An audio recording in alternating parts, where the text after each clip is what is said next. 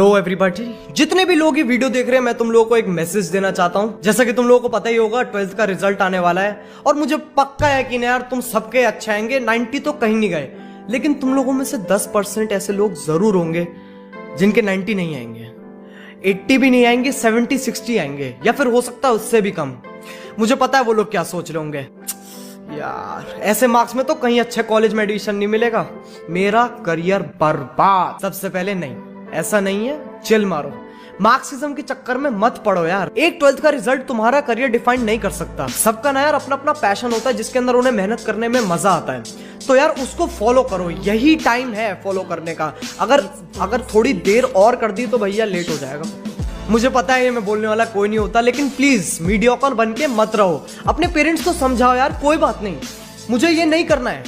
मैं इसमें खुश नहीं हूँ। मुझे ये करना है, मैं इसमें खुश हूँ। मुझे डायरेक्टिंग करनी एक्टिंग करनी, जो भी करना है, उसमें मैं खुश हूँ, मैं वो करूँगा।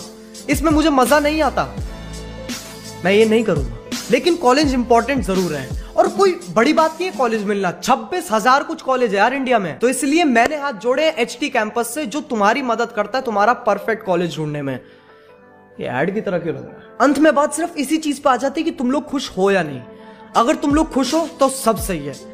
अगर तुम लोग खुश नहीं हो तो सब गलत है।